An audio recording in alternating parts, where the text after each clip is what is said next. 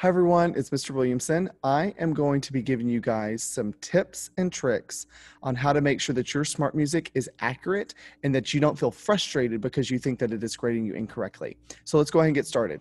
Whenever you are doing an assignment on SmartMusic, after you have tested your microphone, it is a requirement that you use wired earbuds or headphones. Okay, it is a requirement. If you do not have earbuds or um, headphones plugged into your computer and you are playing the metronome over the speakers, your microphone is going to hear your clapping or your playing in addition to that metronome. So you have to use earbuds or it's not going to grade you correctly. I just wanted to say that like one more time. You must use earbuds or headphones whenever you're doing SmartMusic. Many of you have Bluetooth headphones or AirPods or something of that nature. I will tell you that I tried this myself and it does not work. The reason is because Bluetooth has a delay in the sound. It's not instant connection, and that's just something that you can't fix with Bluetooth.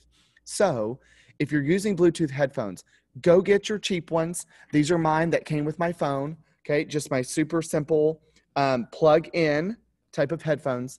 Um, so please use these. Don't try to use your AirPods for your SmartMusic assignments. For Zoom and all your other classes, those are totally fine. But for SmartMusic itself, you're going to need to use um, old school wired plugged in earbuds or headphones.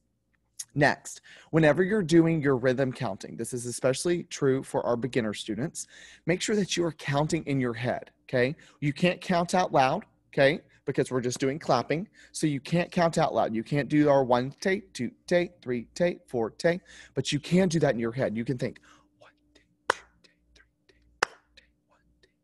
whatever it is, right?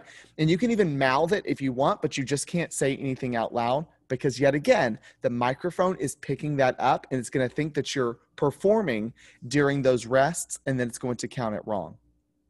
Next at the beginning of all of your assignments there are going to be four clicks that give you prep beats before you start.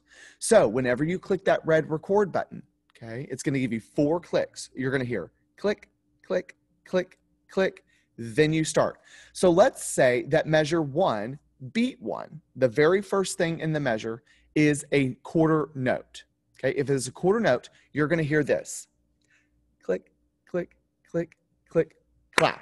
So technically, you're going to start on the fifth beat. Okay, again, that would go one, two, three, four, measure one. Okay, if the first note is a rest, then it's going to go like this one, two, three, four. Silence on count one. Okay. So yet again, there are four clicks. Some of you did five clicks and started clapping on six, which puts you one beat off the entire time. So you need to make sure that you're doing four clicks, starting measure one on count five, which is beat one of measure one. Next, I'm going to share my screen with you guys so you can see an example that I have here um, for you. So this is um, rhythm lesson one, but it's number two of the sequence. So you can see here that we start at measure one. Whenever you do your recording process, you need to make sure that you click at the beginning of measure one to start your recording. If you click anywhere else in this piece, it's going to start at wherever you clicked. If you start here at measure three, remember measure one, measure two, measure three. If you start at measure three, beat one, and you do perfectly from here to the end, it's only going to grade the second half, which means that your highest score is a 50%. You need to make sure that you click at the beginning and then hit record. That is going to allow for you to make sure you can record the entire line of music which would give you the possible 100 points. So again, make sure you click at the beginning of the line so that you can always start recording at the beginning of the music. Next, let's talk about your takes. If you click on the My Takes tab at the top, which would normally always go to after you record your first take, there is this drop down uh, box right here. I have recorded no takes just yet, so I have no takes. But if you were to click in this box, you're going to see all of the times that you've hit record. So if I were to go ahead and hit record, again, I'm doing a rhythm line, so this is going to be a percussive through microphone. Okay, I'm going to test my microphone. Then I'm going to hit start.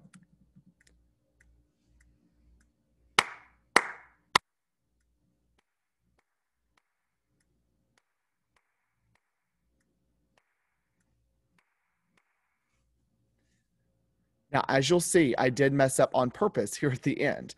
And so it did count the ending of it wrong. You can see now it takes me to my takes.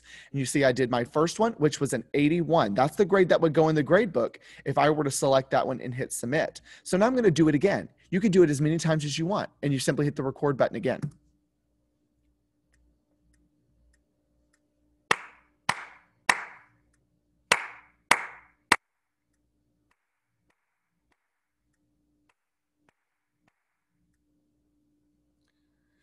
Now that's my kind of score, a 100.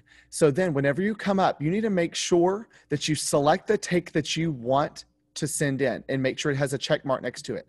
So if you selected the 81 and hit submit, it's not going to submit the 100. You need to select the 100 and then you need to hit submit.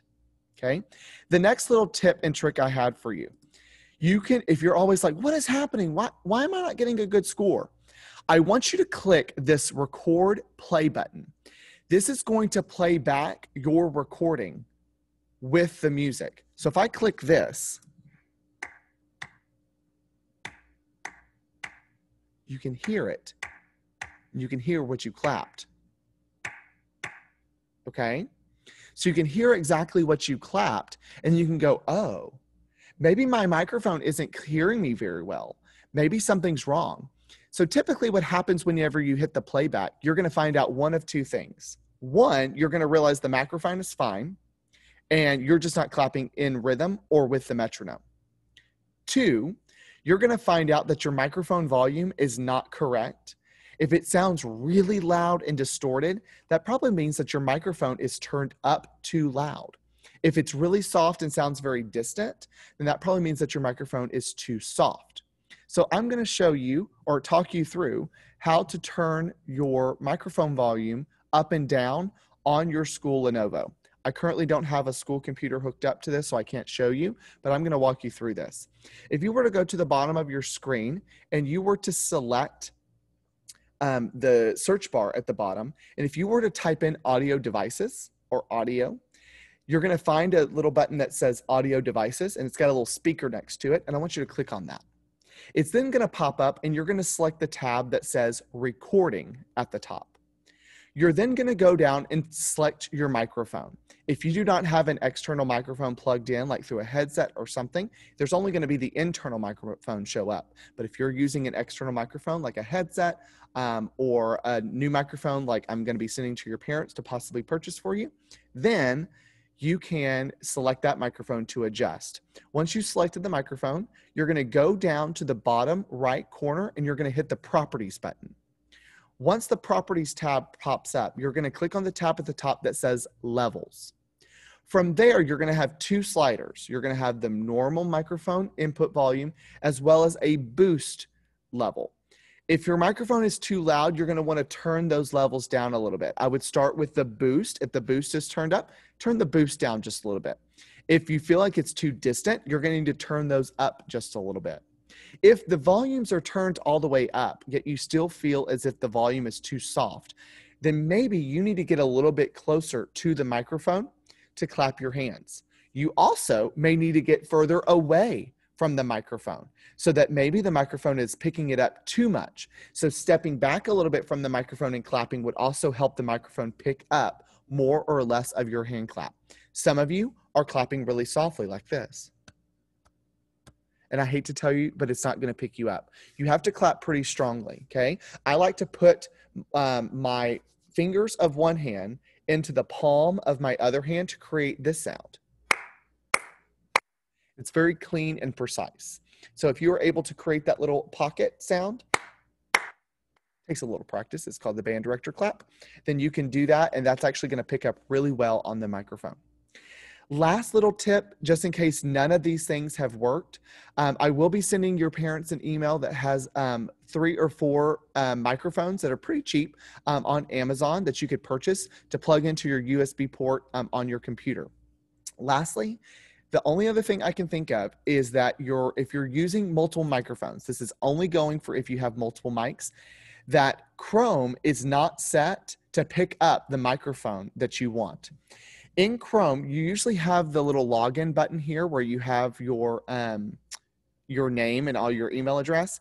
Next to that are the three dots. If you click on the three dots and go down to settings, then if you scroll down to where it says site settings, then you're going to scroll down to where it says under permissions, microphone. From here, you're going to have a drop down list of microphones. You can say that you can see that I have a ton of microphones, but this is the one that I'm currently using and the one that I want to use for my SmartMusic. You need to make sure that your mic is selected at this drop down menu to make sure that you have the correct mic being used for SmartMusic.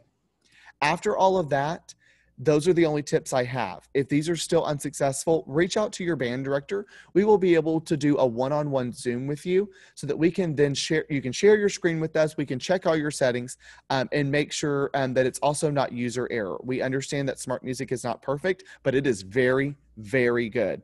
Um, I've never had any issues with it um, from a performance standpoint.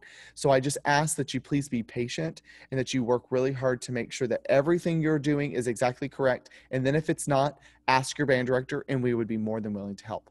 All right, guys, I hope this helps um, you with your SmartMusic assignments. Um, and I can't wait to see you guys soon. Bye, friends.